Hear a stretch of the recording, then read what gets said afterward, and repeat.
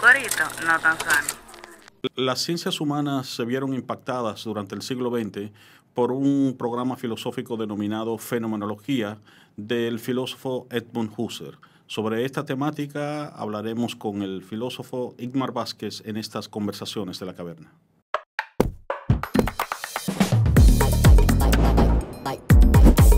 Mazorca.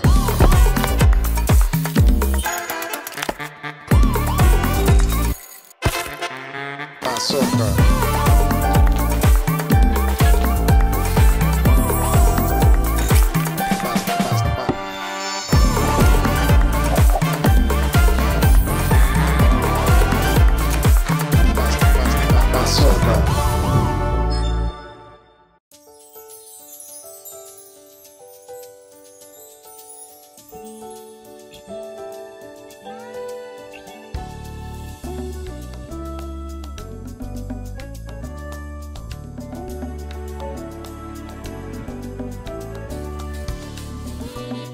Los grandes valores se cultivan desde pequeños, así como el mejor arroz. Arroz La Garza, definitivamente el mejor arroz dominicano. Agua Evian. Renueve tu ser y vive la experiencia única de beber del manantial de la vida y siente cómo tu cuerpo se revitaliza con cada sorbo. Agua Evian. Frescura que te inspira. Comparte, recuerda darnos tu like y activar la campanita para notificaciones. Conversaciones de la Caverna. Hola Inmar, bienvenido a Conversaciones de la Caverna. Muchas gracias Leonardo por invitarme y gracias por estar en este espacio y gracias por, bueno, por poder hablar de la fenomenología. Sí. Sí. Eh, como yo señalé al inicio de, de, la conversación, ¿no? en nuestra introducción, la fenomenología es uno de los enfoques más influyentes en las ciencias humanas del siglo XX. ¿no? Vamos primero a esclarecer en qué consiste la fenomenología. ¿A qué nos referimos? ¿no? Ya, muy bien. La fenomenología, como tú dijiste, vamos a decir, es casi una escuela, una tendencia filosófica. Habría casi que hablar de fenomenologías en plural, porque en el fondo eh, cada filósofo que se dice fenomenólogo eh, funciona de una manera distinta. Pero bueno, tú mencionaste el nombre clave, que es Edmund Husserl fue un filósofo de origen alemán que vivió entre 1858 y 1938. ¿no? Y Husserl eh, vivió en una época donde había muchos movimientos en la filosofía, donde la escuela filosófica más importante que existía en su momento era el positivismo, y el positivismo era una filosofía cuya premisa era la, la única verdad accesible es la verdad que se adquiere a través de las ciencias de la naturaleza, la física, la química, y la filosofía ya no tiene más nada que decir. ¿no? Lo único que tiene que hacer la filosofía es justificar la verdad que se adquiere a través de la ciencia. Ya, eso no es algo muy lejano a lo que vivimos todavía hoy. Hoy en día, de otra manera, yo creo que vivimos un mundo muy positivista. Y Husserl eh, quiso de alguna manera combatir con eso. Es decir, él, él tú recibió mucha influencia en su momento del positivismo, pero él se dio cuenta, por ejemplo, de que tú no puedes reducir todas las verdades a las verdades de la ciencia de la naturaleza, empezando por la misma matemática. ¿no? Él, él tiene, tuvo una formación matemática muy fuerte y él lo primero que se da cuenta es si las verdades de la matemática son, vamos a decir, eternas, por supuesto hay que ver qué significa ese eterno, ¿no? Pero son válidas siempre. Tú no puedes justificar eso simplemente a partir de, eh, de la física o de la psicología o de cualquiera de las disciplinas científicas.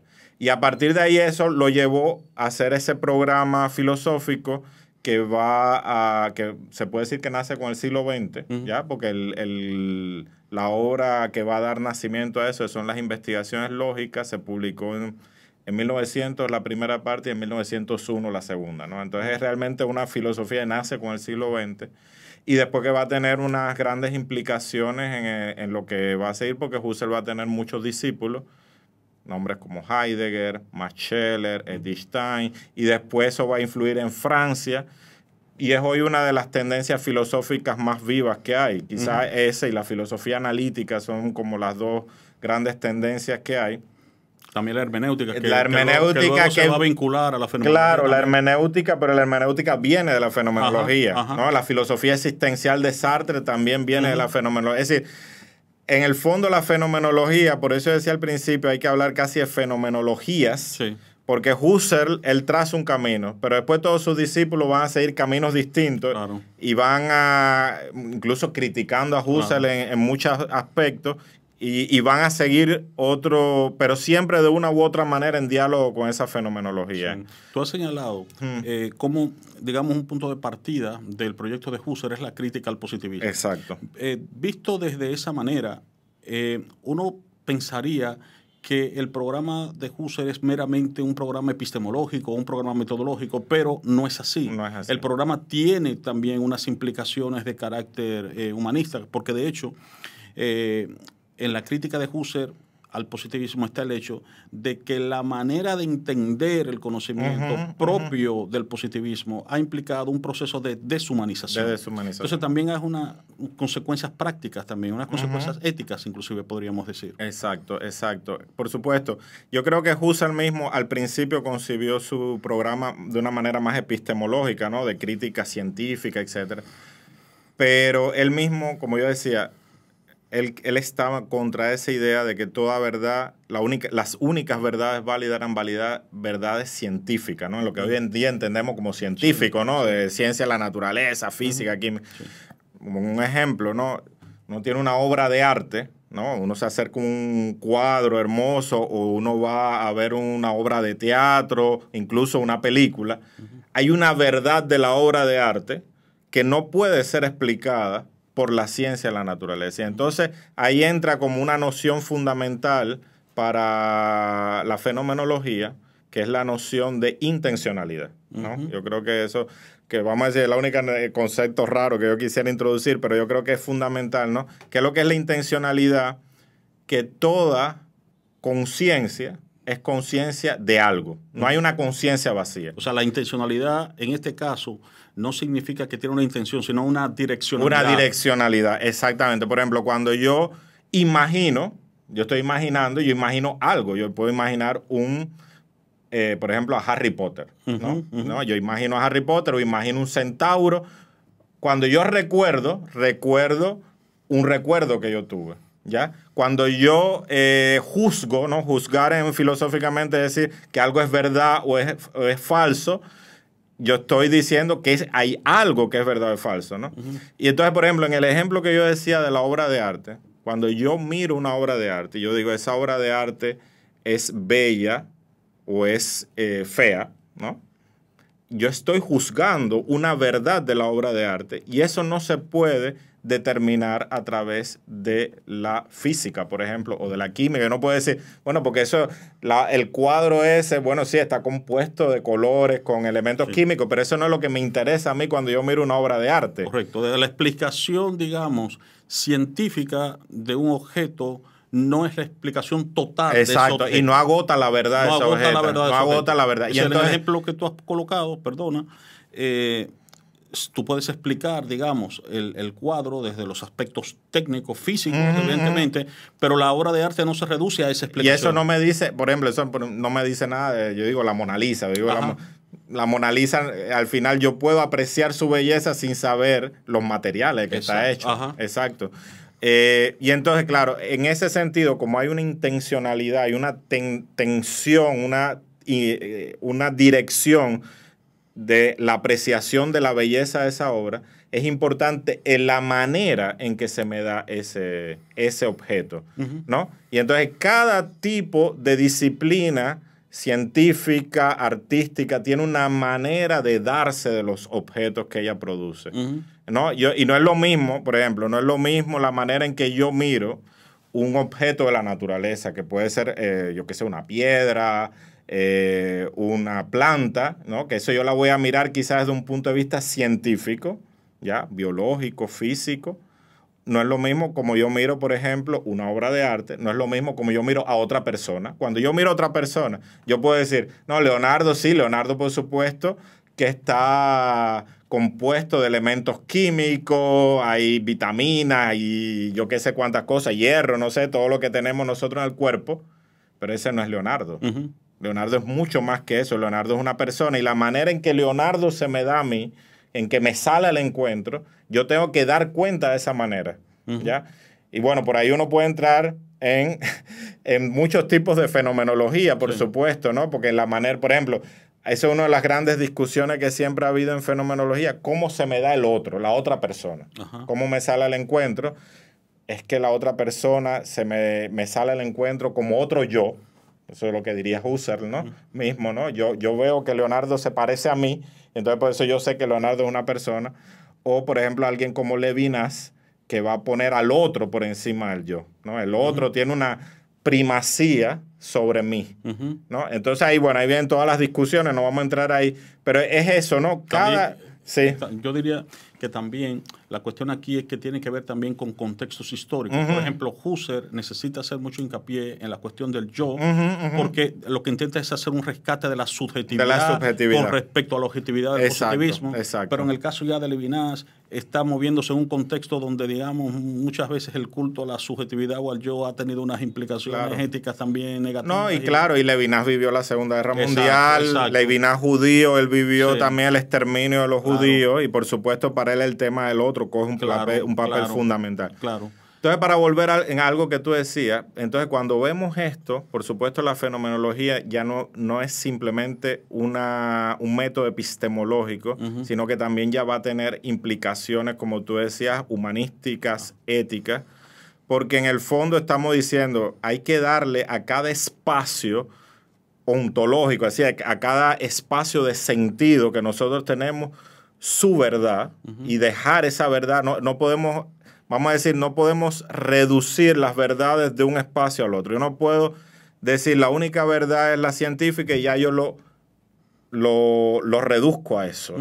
Entonces, si yo, eh, por ejemplo, para Husserl, eso lo va a llevar a hacer incluso al final de la vida todo un análisis de la historia, ya de la historia de Occidente, de la historia de la filosofía para darse cuenta precisamente de cómo en esa historia está la misma raíz de este, de este reduccionismo científico, ¿no? Y a partir de ahí él va a, hacer una crítica también de esa, de esa historia para decir, no hace falta recuperar lo que hemos perdido a lo largo de la historia de la metafísica para, él, usa la palabra reactivarlo, ¿no? Es como que la historia, hay tesoros escondidos y que a veces medio olvidamos y esa historia nos puede ayudar a vivir mejor el presente si recuperamos eso que hemos perdido en el camino. Sí, como esa especie de sabiduría perenne. Exacto, algo así. Sí.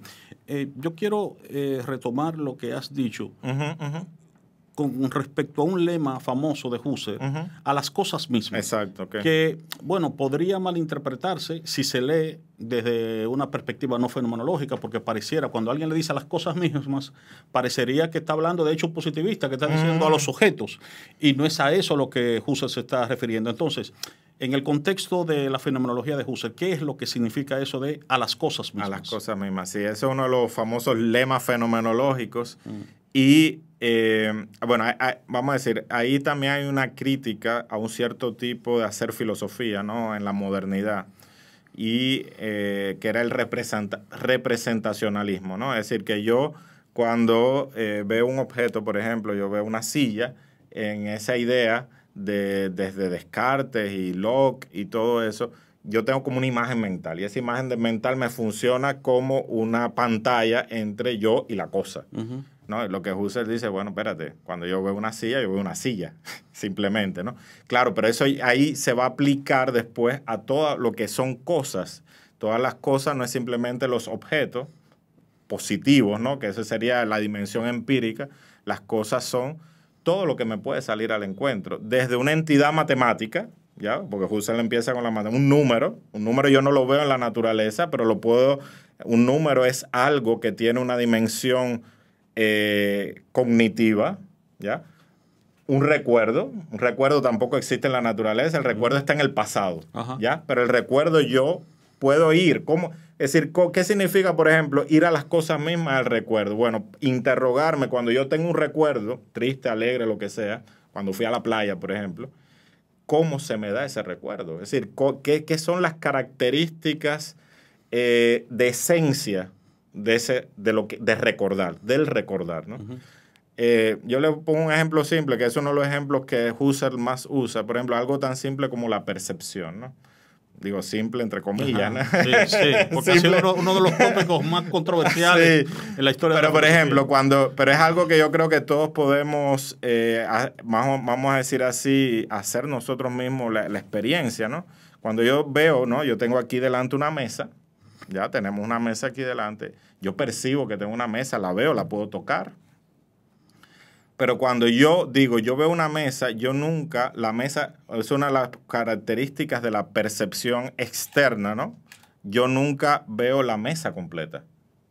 Ningún objeto exterior se me da completo nunca. Se me da por lo que Husserl dice aspectos, ¿no? Se me da una cara, ¿no? Por ejemplo, aquí mismo nosotros vemos solamente la superficie de, eh, de la mesa.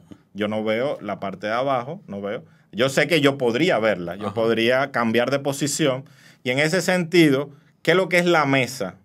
¿Qué es lo que es la mesa? La mesa es la suma, vamos a decir, la sumatoria de todas las posibles perspectivas que yo podría tener de la mesa. Pero yo nunca tengo la mesa completa, ¿no? Yo solo tengo perspectiva.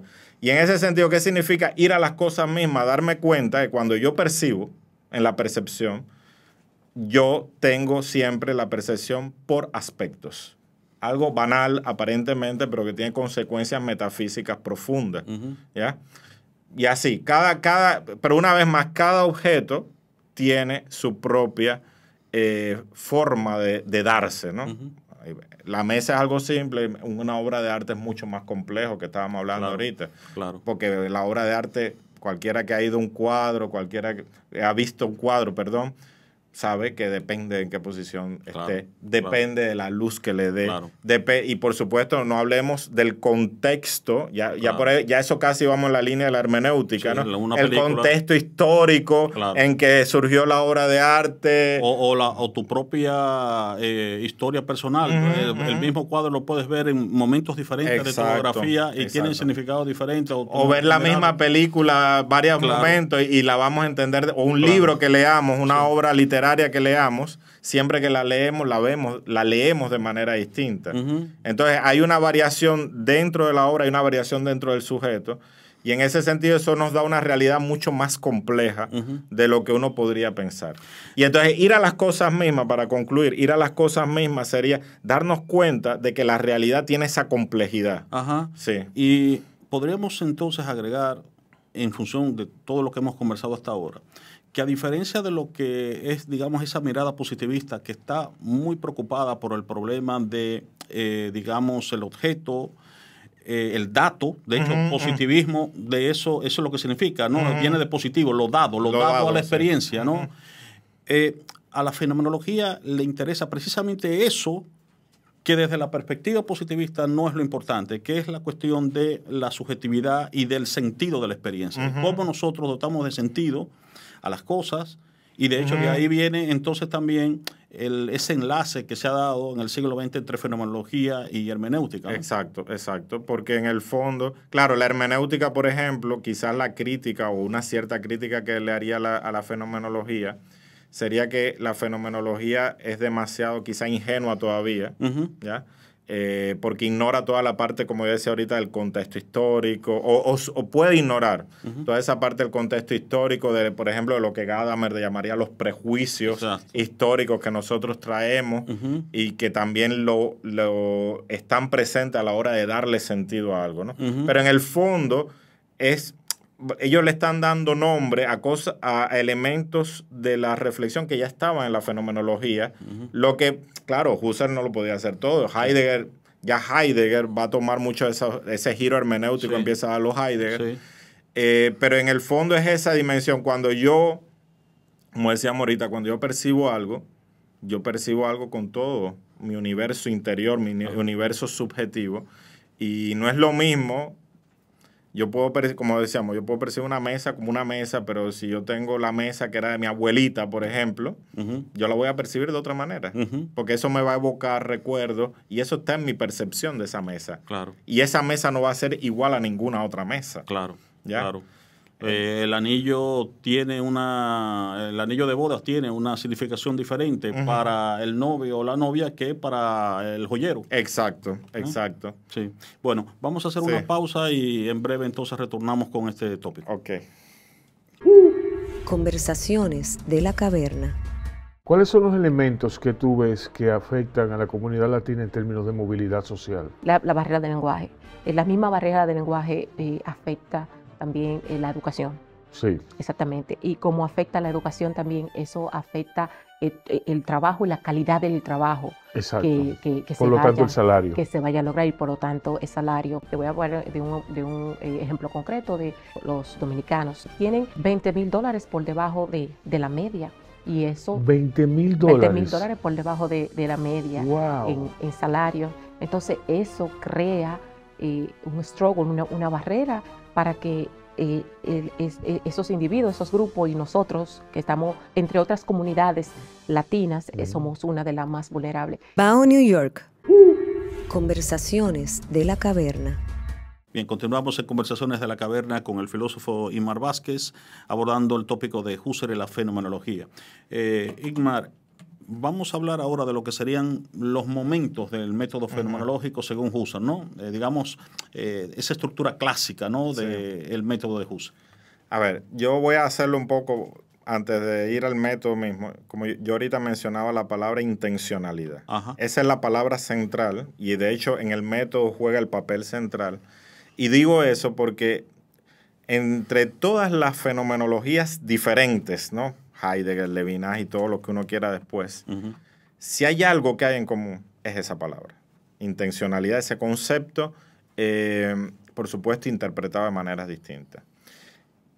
Entonces, el método fenomenológico, como Husserl ya lo va a desarrollar una frase, en una fase más madura, se, se constituye en tres partes, ¿ya?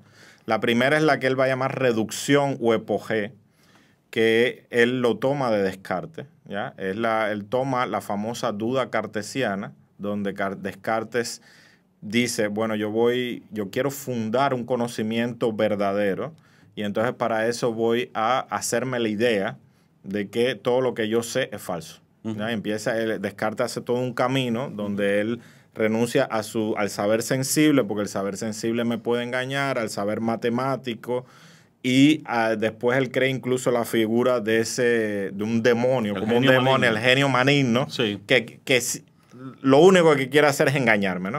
Hasta que Descartes llega a esa conclusión del yo pienso, luego existo. Mm. Pienso, luego existo, es la única verdad de la que yo puedo, indubitable, segura, y a partir de ahí él reconstruye su pensamiento. Entonces Husserl hace algo parecido en lo que él dice, eh, yo voy a poner en duda todos los saberes establecidos, ¿no? las ciencias, como él está en ese debate con el positivismo, eso tiene su origen ahí. No porque yo crea que son falsas, ellos son verdaderos en su campo, pero yo necesito crear un campo de validez que sea independiente de, ese, de eso, ¿ya? Y entonces él dice, ¿qué es lo que tienen en común todas las ciencias, todas las disciplinas científicas? La creencia en la existencia del mundo. Un supuesto. un supuesto que siempre está ahí. Nosotros, de hecho, que estamos siempre en ese supuesto. Nosotros funcionamos siempre a partir de ese supuesto. Porque si yo no creyera que el mundo existiría, yo no podría ni levantarme de la cama. Vamos a decirlo así. Entonces Husserl dice, yo no es que voy a decir que es falso, yo lo que, lo que sí, él dice, yo lo voy a poner entre paréntesis. Voy a decir, voy a evitar pronunciarme sobre la validez de si el mundo existe o no. Y a partir de ahí, él empieza a preguntarse qué es lo que me queda. ¿no? Y esa es la reducción. ¿Por qué es reducción? Porque lo voy a llevar todo al, campo de la, de la conciencia. ¿no? Me queda el, pienso, luego existe Descartes, pero en Descartes ese pienso, luego existe como un puntico a partir del cual quiere armarlo todo. Husserl no es un punto, es toda la conciencia. Es todas eh, las estructuras de pensamiento, dígase eh, percibir, juzgar, ¿no? lo que decíamos ahorita, todas esas cosas. Ese sería el primer punto. Primer momento. Segundo momento, la intencionalidad, ¿no? Y ahí llegamos, porque él dice, cuando ya yo estoy en el plano de la conciencia, yo me doy cuenta que la intencionalidad no es una estructura simplemente de mi conciencia como Inmar Vázquez o como Leonardo. Yo ser humano es una estructura de toda conciencia, independientemente de quién sea. Eso puede ser la conciencia de Dios, puede ser la conciencia de un ángel, y si mañana hay un extraterrestre, también la conciencia de un extraterrestre, pero incluso la conciencia de un animal. Es decir, un animal con sus funciones mentales más limitadas también tiene una conciencia intencional. ¿Ya? Entonces, o sea, que es la estructura de toda conciencia posible. De toda conciencia posible. Para que haya conciencia, tiene que ser una conciencia intencional. Y como decíamos, una intencionalidad significa que todo acto de esa conciencia es un acto de algo, ¿no? Una conciencia, un recuerdo, recordar es recordar algo, ¿no? Pensar es pensar algo.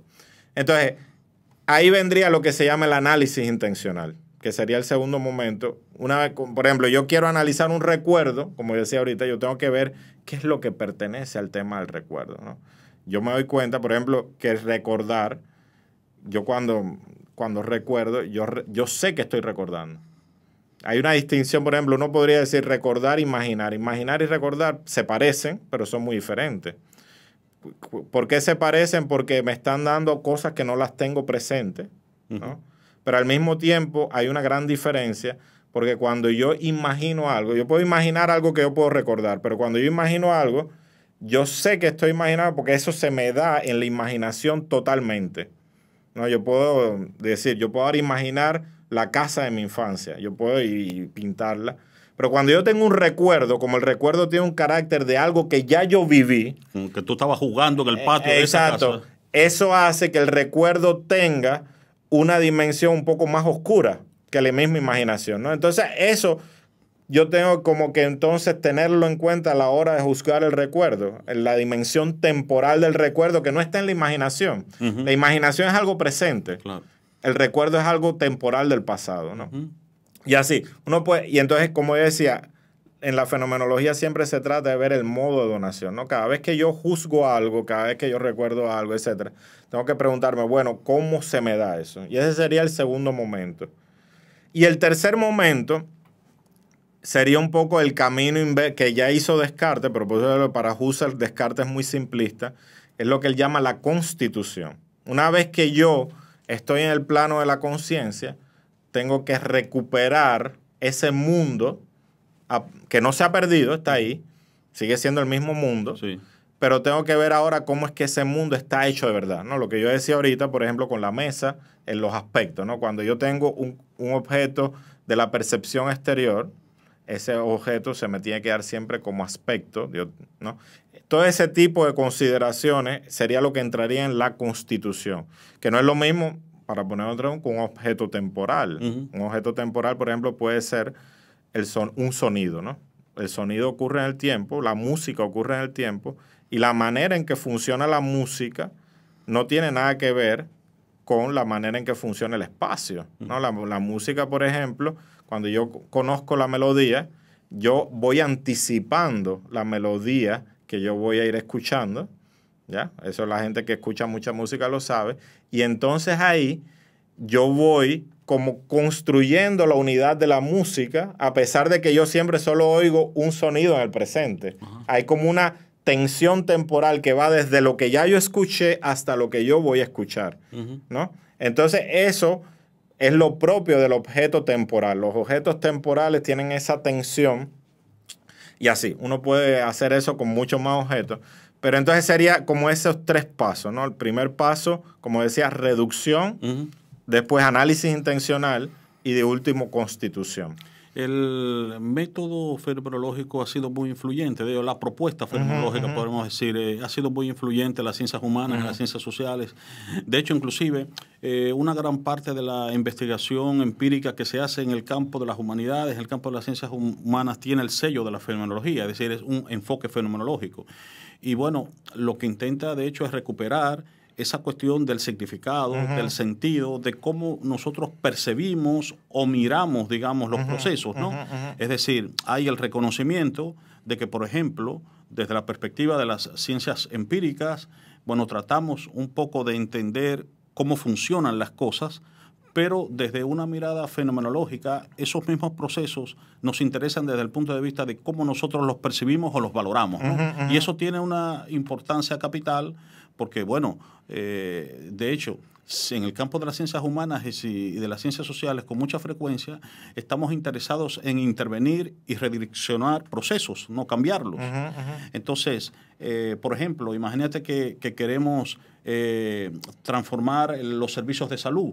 Bueno, los servicios de salud pues funcionan de una manera determinada, pero nos interesa también cuál es la percepción que tienen los usuarios de esos servicios de salud, ¿no? Y la manera que ellos tienen de valorarnos de valorar esos servicios, pues es un insumo fundamental en nuestro intento de eh, intervenir en esos procesos y valorarlos, ¿no? Sí, yo creo que ahí hay un punto fundamental, por ejemplo, en la misma reducción o la EPOG que decíamos, porque una de las cosas que permite la EPOG es tomar distancia respecto a nuestros propios prejuicios, ¿no? Eh, yo cuando me doy cuenta que a la hora de juzgar o valorar algo, yo estoy proyectando ¿no? Cosas que yo he sabido, ¿no? Como tú decías, por ejemplo, si yo quiero, yo digo, ok, el servicio de salud tiene dificultades, pero son las dificultades que yo veo. Yo, Inmar Vázquez, porque yo me crié en tal circunstancia, yo, pero yo tengo que decir, atención, eso es lo que yo veo, cómo lo ven los otros. Exacto. ¿no? Porque si no, yo puedo tener una política, ¿no? En la que yo le impongo a los otros mi punto de vista. Correcto. Entonces, por eso es como también tener, eh, yo creo que ahí ayuda esa toma de distancia, ¿no? Toma de distancia respecto a mí mismo para tratar de ver cómo es el fenómeno realmente, porque al final, por eso se llama fenomenología. Tomar distancia para ver cómo el fenómeno se me muestra. Y claro, en el tema de las políticas ahí es fundamental cómo lo ven los otros, cómo se valora, eh, hasta qué historia ha tenido. Exactamente. Exacto, de qué historia han tenido esas políticas. O por ejemplo, yo creo que una de las ciencias humanas donde implícitamente más se usa eso es la antropología cultural, ¿no? La antropología cultural, el famoso método de la observación participativa, ¿no? Ahí tú, precisamente, una de las cosas que tú tienes que desde el inicio poner entre paréntesis todo tu universo cultural para tratar de no proyectarlo en el otro que tú vas a encontrar. Porque tú quieres que el otro se te muestre con todas las dificultades metodológicas que eso puede tener, pero tú quieres que el otro se te muestre lo más posible como él realmente es, no como, no sé, digo, eso puede ser desde la visión etnológica que antes eran los europeos que llegaban, digamos, a África o aquí a los pueblos de América y, ellos lo veían como se lo imaginaban. No, ellos tuvieron, se tuvo que ir aprendiendo que ahí se proyectaba constantemente. Entonces, la, la fenomenología puede ayudar a meter entre paréntesis eso. Hay como una, ascesis, ¿no? Un ejercicio de retención y decir, espérate, ten cuidado porque tú eh, cada vez que juzgas tienes un punto de vista y ese punto de vista hay que, hay que eh, tú no lo puedes eliminar porque tú sigues teniéndolo, pero tienes que ser consciente que él está ahí y de que no puedes eh, en lo posible de no meterlo en tu juicio, de no, no, implicarlo en tu juicio. Claro, y al mismo tiempo entonces implica una recuperación de los otros, del, significado que los otros dan. ¿no? Exactamente, exactamente, el significado que, por ejemplo, o, o, en el fenómeno religioso también, eso, la fenomenología de la religión es una disciplina todavía muy activa, pero precisamente es decir, durante el siglo XIX, muchos sociólogos, eh, empezaron a estudiar la religión, porque es uno de los fenómenos sociales más importantes, pero siempre la tendencia era reducirlo a algo. Sí. Era una función de la sociedad, era una función de la economía. Era Sí, sí. Y entonces siempre se perdía toda la complejidad del fenómeno. Entonces, la fenomenología de la religión es decir, atención, no proyecten los prejuicios una vez más. ¿No? El, prejuicio marxista o el prejuicio sociológico de Durkheim, ¿no? Hay que tratar, dejar que el fenómeno se muestre con toda su complejidad y sus ambigüedades. Ya que se muestre con todo lo que es y a partir de ahí tratar de describirlo. ¿Ya? Después, por supuesto, hay temas que uno podría juzgar en positivo o negativo, pero después que el, fenómeno ha sido realmente descrito, ¿no? Eh, porque en el fondo, y ahí, por supuesto, como tú decías, es importante oír al otro. Yo como no religioso, por ejemplo, es decir, como una persona que no cree en nada, que podría ser un Mars, por ejemplo, la manera en que esa persona va a juzgar el tema de la religión va a ser muy diferente que como lo juzga alguien que cree. Correcto. Y dentro de los que creen, no es lo mismo la mirada, por ejemplo, de un cristiano que la de un budista o dentro del cristianismo la de un católico. Y dentro del mismo catolicismo hay también exactamente un, millón de miradas distintas. Exactamente, así es. Así es. Exacto. Bueno, pues para concluir, Igmar, yo quiero que, aunque en el transcurso de la conversación lo hemos ido abordando, pero digamos que sintetizando, ¿cuál sería el legado de, de Husserl y de la fenomenología, ¿no? Para la filosofía y para las ciencias humanas. Yo creo que sobre todo, digo, por supuesto, están la gente que practica la fenomenología constantemente y cree que todavía sigue siendo un método que puede aportar mucho a nuestra comprensión del mundo y de los fenómenos en general. Pero incluso más allá de la misma fenomenología, para mí quizás su gran legado es mostrar, como decíamos al principio, mostrar que cada dimensión de lo real tiene su propia lógica, tiene su propia verdad y que esa verdad y esa lógica hay que respetarla. Ya si queremos realmente entender este mundo tan complejo en el que vivimos, hay como una noción de respeto, ¿no? De no imponer verdades que vienen de otras regiones. ¿ya? La, verdad científica tiene su campo y, y ahí hace maravillas, pero yo no puedo extender eso más allá de ese propio campo y viceversa.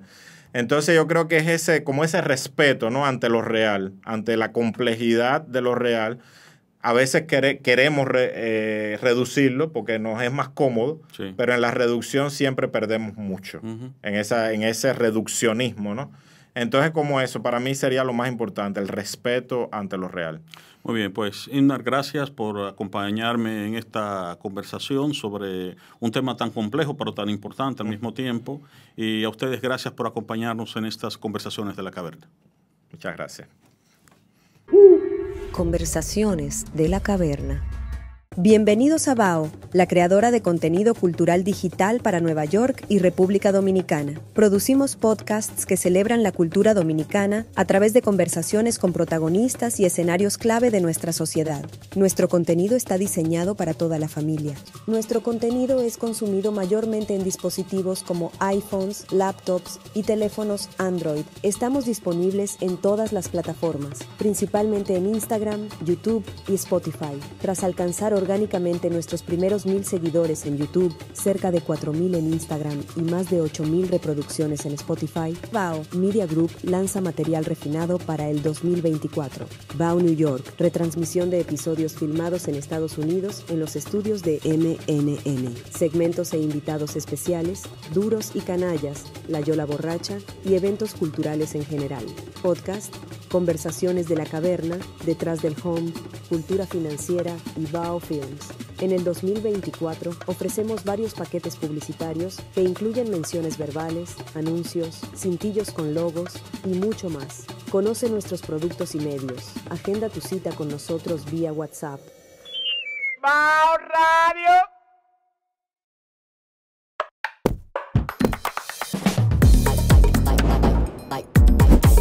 Mazorca.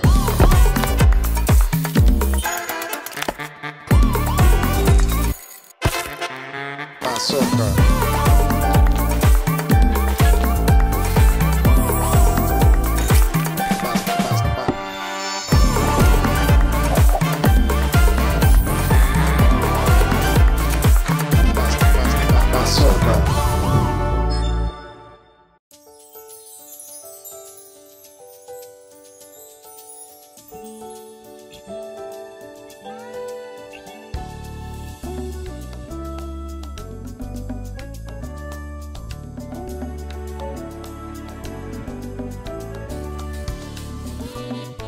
Grandes valores se cultivan desde pequeños, así como el mejor arroz. Arroz La Garza, definitivamente el mejor arroz dominicano. Agua Evian. Renueve tu ser y vive la experiencia única de beber del manantial de la vida y siente cómo tu cuerpo se revitaliza con cada sorbo. Agua Evian. Frescura que te inspira. Comparte. Recuerda darnos tu like y activar la campanita para notificaciones.